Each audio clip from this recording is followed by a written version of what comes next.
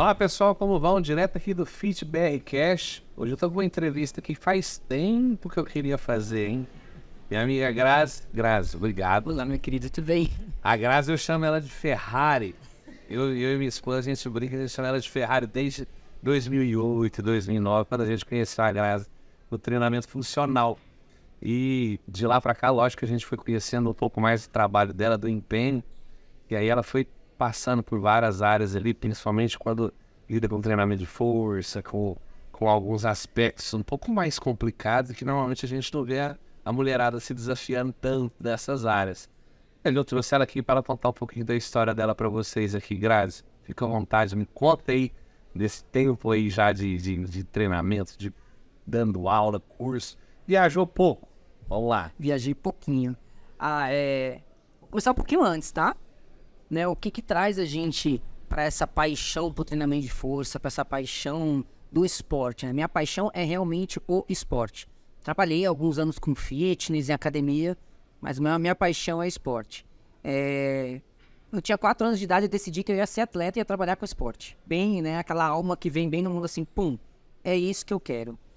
E dali até hoje, é sempre essa busca, né? Do, de aprimorar. Então, primeiro eu fui atleta, fui atleta de nível nacional, fui atleta de nível mundial, não cheguei no nível olímpico.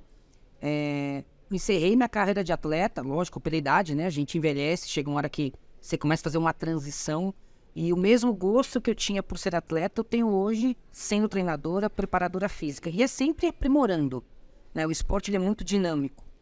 É, na minha carreira, eu já passei por palestrante, passei por trabalhar com personal em academia, passei como treinadora levantamento de peso olímpico e hoje eu tô na função assim que eu acho que eu me encontrei, que é preparadora física mesmo.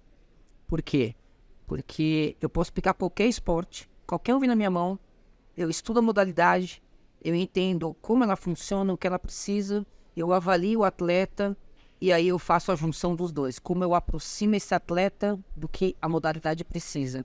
E isso torna dinâmico, porque eu não fico na mesma modalidade, eu consigo flutuar. Então, uma hora eu tô no basquete, uma hora eu tô na ginástica rítmica, uma hora eu tô no próprio levantamento de peso olímpico, já peguei o pessoal de rafting, já pessoal, peguei pessoal de ciclismo. Então, eu acho muito bacana esse dinamismo que o profissional que trabalha com preparação física consegue ter. E aí, isso também estimula a gente a estudar mais, né? Que a gente nunca para.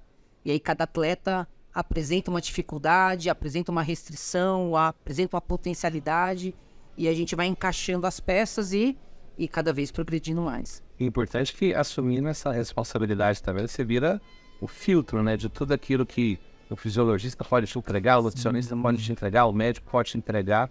E se você acaba coordenando toda essa rede de, de relacionamento. Eu vejo o preparador físico como alguém que tem que saber fazer gestão do treinamento. Porque por mais que a sua área seja ali o strength and conditioning, né? Você tem que trabalhar o preparo de força física, a parte de condicionamento. Você tem que saber as outras áreas o que estão fazendo. Porque você precisa fazer a somatória de todas as cargas de treinamento. Então, você tem o treinamento técnico, é uma carga. Você tem o tático, é uma carga. Você tem a parte psicológica, é uma carga. Então, você precisa saber controlar essa carga de treinamento para a sua também estar tá controlada. Né? Às vezes, o, o treinador não consegue ter essa função. Então, cabe realmente ao preparador físico tentar fazer essa gestão de treinamento e ter esse contato, né, com a equipe multidisciplinar, que eu acho, assim, que é, é uma parte que não pode ser de forma nenhuma ignorada. Ontem, ontem a gente estava com o Franco Bacural e com o Saldanha, e a gente Sim. fez uma, uma mesa de nutrição, e o Saldanha falou que quando foi para a Austrália, a equipe multidisciplinar realmente, de fato, funcionava, e essa pessoa responsável por ser o fio é que administrava toda essa gestão do esporte. Antônio Carlos Gomes fala muito disso. Ah, é. A gente vê às vezes pouco acontecendo, mas isso é assumir um papel ali extremamente importante para conseguir gerenciar esse rendimento esportivo, Renault. Sim, é, infelizmente é um papel que a gente precisa ter, né? Não falo só preparador físico, mas é necessário dentro de uma equipe é, ter, ter esse, essa gestão. Por que, que a gente vê pouco? Porque eu acho que a cultura ainda do esporte do Brasil, ela não, não, não entendeu essa necessidade e ela não entendeu que o atleta não é propriedade de ninguém. O atleta não é propriedade do técnico, não é propriedade minha, não é propriedade do clube. A gente tem que dividir esse atleta em todas as partes. Então tem né? Tem um pouco desse jogo do. Aquele jogo de eco, né? De querer sentar com uma equipe, olha, vamos trabalhar, vamos conversar, o que você sabe, o que eu sei, junto aqui. O que eu não sei não tem problema, eu aprendo com você, eu aprendo com o outro. Então, para fazer uma gestão técnica, você precisa ter uma equipe disposta a entender. Eu não sei tudo, mas eu sei uma grande parte de algumas coisas. Então, eu vou dar o meu conhecimento e vou pegar um pouco do conhecimento do outro. E aí a gente junta as peças para o melhor, né? Para tentar trazer o melhor resultado para esse atleta. Esse ano do levantamento de peso limpo, se a gente for pegar as principais referências mundiais, aí, por exemplo, Schumer, o que, que, você acha? É, existe é, muita política envolvida ou não? É mais de fato conhecimento e aplicação? O que, que você acha, Fih? Você fala de mim. Você fala no quê? De obtenção de resultado? De obtenção de resultados. É... O que acontece, né? É difícil a gente comparar alguns países com a estrutura que a gente tem no Brasil. Se a gente pega a China, China, a própria Rússia, eles têm uma organização estatal, né? Então vem lá de cima, você tem todos os processos numa hierarquia, o que vai ser feito, por quem vai ser feito, de quem vai ser cobrado, o resultado esperado, o incentivo do governo. Qual é? Qual o atleta que vai que vai passar por esse processo? Porque então é muito claro, é muito definido. O que talvez falte aqui no Brasil, a gente não tem esse sistema de organização. Né? A gente não tem organização de processos, a gente não tem uma organização hierárquica, a gente não tem os é, bem claro e bem transparente quem são os atletas vão viajar, porque vão, quando vão. É, a gente não tem sequer, às vezes, eu não falo só levantamento de peso olímpico, tá? Falo outras modalidades. A gente não tem uma antecipação do calendário esportivo. Às vezes avisam que tem uma competição daqui a um mês. Como é que eu preparo o atleta em um mês? Se eu estou no período preparatório e etapa geral com ele, como é que eu faço? Ele ficar pronto para uma seletiva, ah, que vai levar para uma competição lá fora.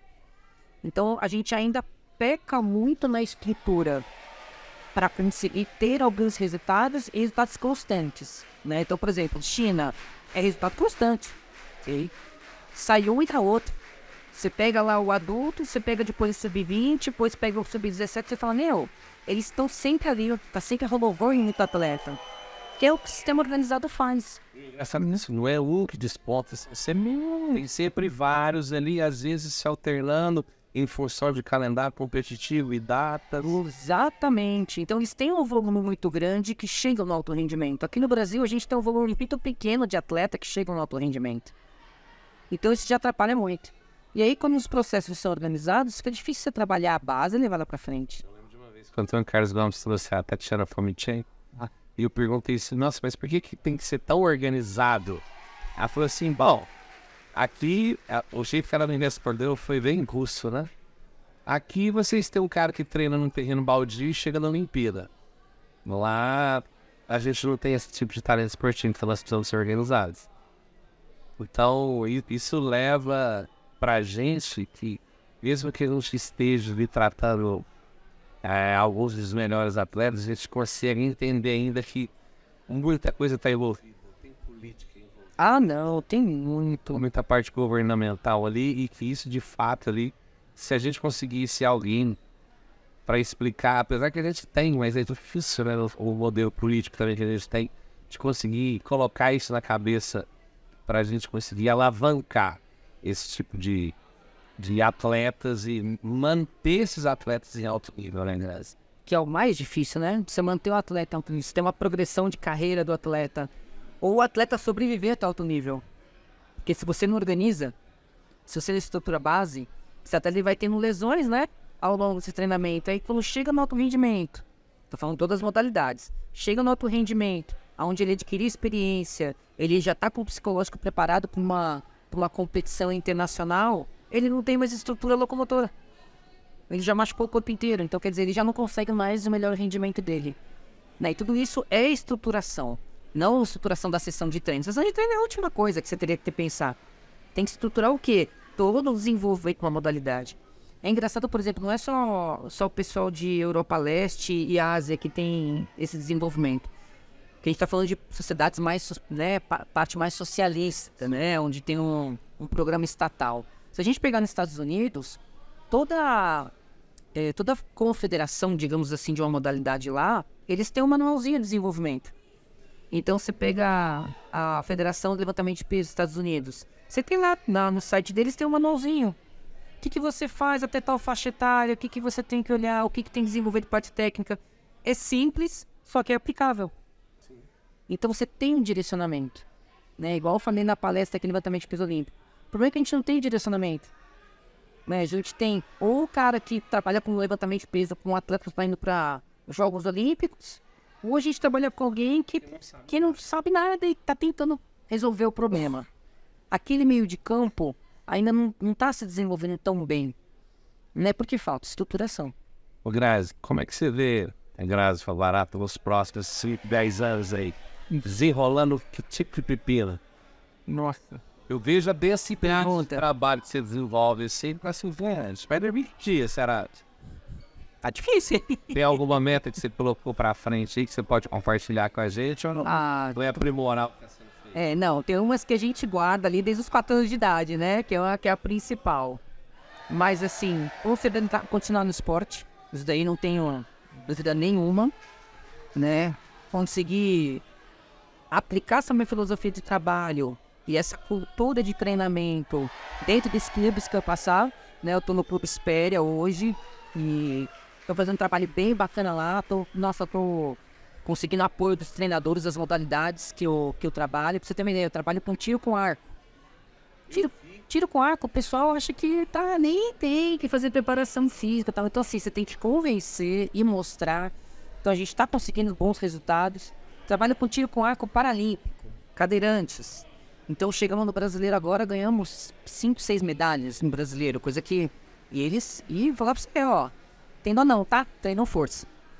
Não tem negócio de treininho com elastiquinho, porque ah, eu sou cadeirante, eu taco força neles.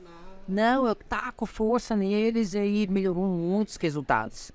Né? Então, a, a minha meta é essa. Primeiro, conseguir quebrar certas culturas dentro do treinamento no Brasil, né? Mostrar que a gente precisa de uma sistematização de preparação física, é isso que eu levo muito no clube. Então, se um dia eu sair de espéria, tô deixando todo um trabalho lá. Tô deixando todos os meus planejamentos, tô deixando todos os macrociclos, tá ficando tudo lá, todos os testes que eu aplico, até- tô deixando um, um arquivo para eles. Quando chegar alguém, se quiser seguir, vai ter um parâmetro. Então daqui aí eu passo para um outro clube, eu passo para outro clube. A minha ideia é essa. Até a hora que a gente consegue pegar um atleta, desenvolver mais e levar para fora. E quem sabe Jogos Olímpicos, né? Já que eu não fui atleta olímpica, poderia pelo menos ser preparadora física, né? Quem sabe? É uma meta boa, né? Não seria ruim não. Mas é, é isso. E não parar. E não parar no tempo. Né? Eu não gosto de parar no tempo. A visão que eu tinha uns anos atrás era, nossa, quando eu tiver 30 anos, como é que eu vou estar na minha área tal. E, e foi muito bacana conhecer a Tatiana Fomitchenko. Foi muito legal ter ido fazer o curso lá na Rússia com o Carlos Gomes. Que aí eu vi aquelas, aquelas treinadoras cabelinho branco, né, sabe? Senhorinha! E dentro daquela aula eu falava, nossa, é assim que eu quero chegar nos meus 70 anos. Massa. É isso que eu quero. Ah, ontem eu falei sobre a preparação física e alto rendimento. Então eu peguei dois tópicos. Eu quis trazer eh, pro, pro pessoal aqui, pros participantes, pros congressistas, as particularidades do treinamento feminino, né, dentro da preparação física, então especificamente com atletas. E depois eu falei um pouco sobre o controle de carga, né, controle de carga externa e o controle de carga interna e o controle especial para atletas femininas. Que tá tá muito é, é- é bom que tá vindo bem à tona agora o treinamento feminino, né? Parece que os últimos anos deu uma uma acendida, uma luz aí para esse tópico. Então achei que era importante falar sobre isso. E hoje eu falei sobre levantamento de peso olímpico como ferramenta dentro do treinamento funcional. Já que o treinamento funcional ele permite uma gama de meios e métodos de treinamento, então como é que a gente traz o levantamento de peso olímpico não como modalidade competitiva, mas como uma ferramenta para a gente conseguir encaixar aí na nossa sessão de treino. Você falou num ponto importante. É, eu também tô lá na CBFK do Gomes e a gente percebe, trabalhando de futebol, Sim. ano de Copa do Mundo, de Copa do Mundo feminino, e a gente percebe que às vezes ainda o pessoal fala muito ali da, do- dos homens e, e fica um pouco a desejar a parte feminina. Eu vi que você trouxe um, lá, um slide super importante, que a gente fala muito da nutrição hoje, em relação a redes, a densidade calórica muito baixa.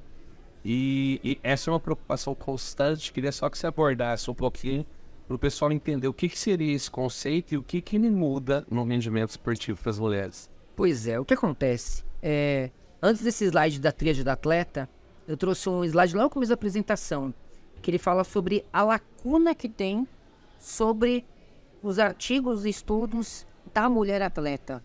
Então foi uma, foi uma pesquisa feita em 2021, que pegou mais de 5 mil artigos, então põe aí 12 milhões de participantes, e viu quantos deles realmente falavam da mulher atleta. Só 6%. 86% dos artigos eram falando só de homens, mas não colocavam no tópico. Colocavam a modalidade, o, o que estava sendo pesquisado a modalidade, mas só pesquisavam homens. Então, então primeiro, falta estudar a mulher atleta. Realmente a fundo. Não comparando com o homem, né? Sempre assim, treinamento é, ah, mas pro homem isso, a mulher aquilo. Não, tem que começar a ser o contrário. Tem que ser, ó, mulher é isso. O que que eu faço?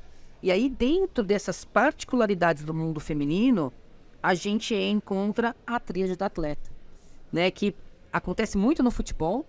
Eu tinha um, um colega que era treinador que ele falava, pô, direto, né? Tô tendo problema com as meninas, tal, fratura de estresse, que é uma consequência, né, da osteoporose. Um dos problemas gerados aí é a, a perda da densidade óssea. É... E aí eu também tive, o ano passado, eu tive contato com a ginástica rítmica, meninas de 13 a 16 anos, que já estavam apitando né, aquela dor na parte anterior da perna, a chamada canelite, já ausência de ciclo menstrual.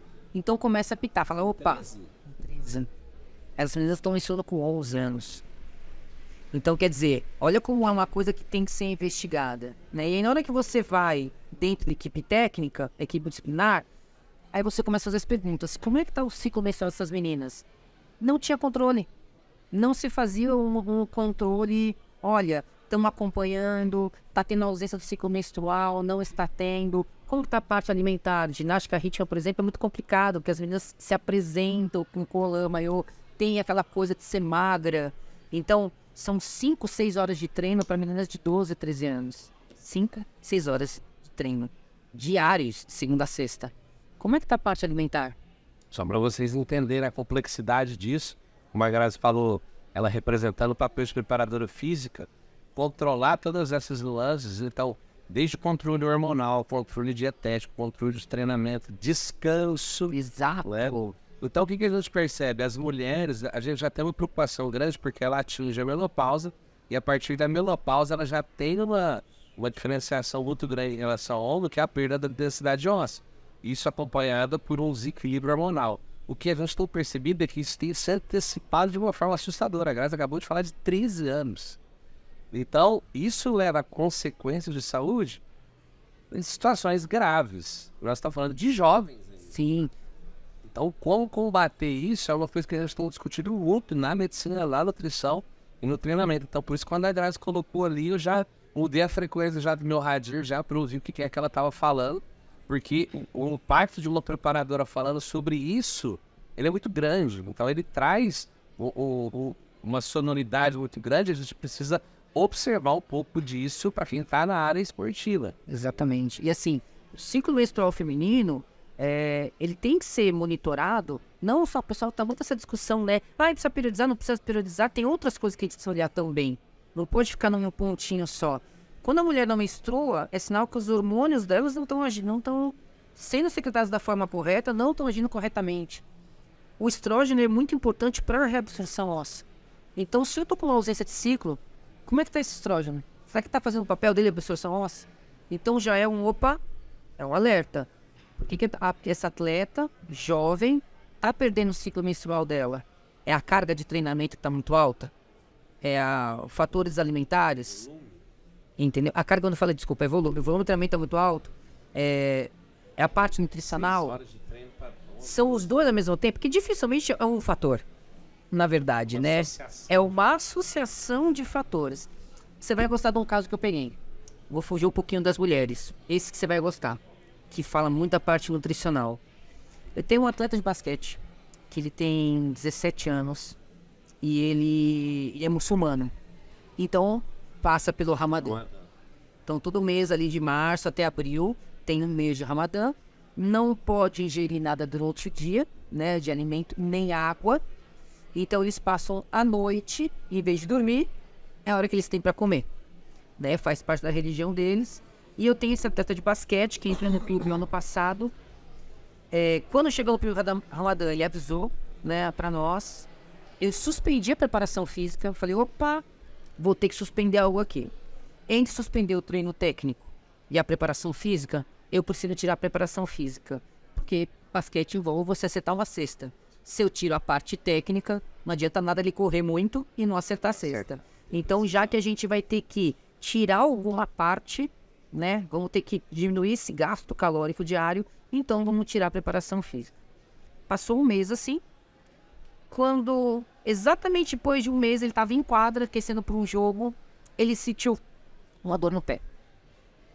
E aí não conseguia mais pisar. E aí leva lá para a gente tem uma associação com a, com a Escola Paulista de Medicina. Leva lá, começa a investigar. Teve fratura por estresse. Esse menino tá há três meses tentando recuperar essa fratura por estresse. Por quê? Todo ano passando pelo Ramadã. Todo ano treinando. Ele veio agora pro clube. Ele começou a ter o quê? Uma falta de reposição óssea. Por conta de alimentação e volume de treino. O corpo dele não conseguiu lidar.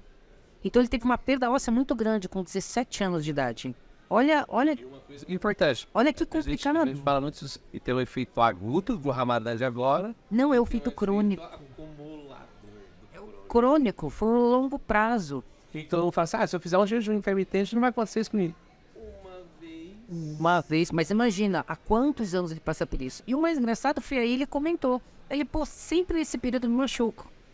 É quando eu tenho uma lesão muscular Acha recorrência. e a recuperação é muito mais demorada. Aí a gente falou, putz, meu, como é que faz agora? Então olha como é importante. A gente participou na- CBF Academy, a gente pegou um pessoal de time venezuelano, porque são brasileiros que estão Sim. no mundo inteiro. E tem um time e falou assim, cara, isso aí é trairagem. Eles pegaram e inverteram. Começaram a treinar o time de madrugada e dormiram os caras de dia. Eu falei, mas e aí vocês estão quebrando o Ramadã? Ele falou assim, guarda, nós estamos no pico do campeonato, tem um Ramadã, como é que eu vou parar todo mundo? Pois é. Eu falei assim, cara, mas vocês inverteram o horário para os caras poderem comer. Eu falei, é, não pode comer enquanto sol tá, tá. É, eles não estão quebrando nenhuma regra. Estão quebrando nenhuma regra. Deram um jeitinho brasileiro Deram Ramadã, Ramadã. né? Mas assim, quando a gente trabalha com atleta, você tem que. E, e, e vou falar, quando aconteceu isso comigo, com, com esse atleta, eu fiquei super sentida. Fiquei super sentida. Eu falei, como é que eu não pensei nisso? Como é que eu não. Eu nunca peguei um caso, né? E infelizmente na nossa área, a gente vai adquirir experiência, mas você não tem toda a experiência do mundo. Né? E aí a gente. Influências culturais é que às vezes gente faz assim, Exato. Não, é porque você não vive aquilo, você não entende. E ele não tinha dito pra gente que ele não podia tomar água, nem água. Né? Então a gente tentou até modificar cada ali. tem reduzido o de Ramadã e se ele segue é porque é muito forte. Exato. E aí teve que conversar lá com, com acho que é rabino que eles chamam, né? Se podia tomar água pelo menos tal. Então a gente conseguiu que ele tomasse pelo menos água. Aí o treino era às 6 horas da tarde, então tinha que comer, era quando eram umas 10 para 6. Então a gente tem, tem toda uma remediada, tirou a preparação física, mas mesmo assim, o efeito crônico já, já existia. Né? Então esse menino tá. Faz três meses. Três meses. E ele não conseguiu ainda fechar a fratura de estresse. Então, só pra gente ver como é importante a gente ter é, essa, esse conjunto para analisar um atleta e cada uma das partes dessa equipe multidisciplinar realmente desempenhar o papel dela e falar, opa, bora conversar. Sentar todo mundo junto e falar, não, vamos resolver isso aqui. Vamos resolver isso daqui, porque agora ele perdeu três meses, assim, até voltar, até voltar a treinar, até competição só no que vem. Parece pouco, mas as oportunidades às vezes vêm muito de surpresa, né? Às vezes aparece um time, fala assim, eu queria levar seu atleta. Fala, nossa, Já era. né? Até o final do ano, recuperação. Recuperação. Pessoal, eu fico com ela aqui pelo menos até as 18 horas, mas não posso. E, Grazi, quem quer seguir você, quem quer ter mais contato com você, passa Instagram pra esse pessoal aí, site. Bom, meu Instagram é, é Grazi com dois Z's, igual pizza. Não dá pra esquecer. Underline Favarato. tá? Eu não, eu não consigo postar muito conteúdo, adoraria, mas não, Pelo menos a gente. Mas é porque não dá tempo, porque realmente tem que fazer planejamento de treino, eu tô com mais de 100 atletas e tenho assessoria fora, enfim, minha vida é o meu trabalho ali, literalmente. Mas de vez em quando, aliás, todo dia eu pelo menos posto uma parte da sessão de treino, pro pessoal, né, se aproximar mais desse mundo do esporte, que não é um mundo intocável, não é um mundo muito longe. E, né, então, E o bom é que a gente fica sabendo onde você tá. é, tá? Mas segue lá. É porque normalmente a gente gostaria de postar e falar mais do que a gente consegue fazer. exatamente. Mas pelo menos a gente consegue seguir a Grazi ali. Cara, e eu dou total certeza. Quem puder, vai atrás, assista uma aula que eu tenho certeza que eu não fico impressionado com o que vocês vão assistindo. Queria te agradecer demais. Seguir pelas Uma palavras, pelo grande. convite. Desde 2008 querendo fazer uma gravação dessa. Chegou. Obrigado, turma. Curta e compartilhe. Obrigado, pessoal.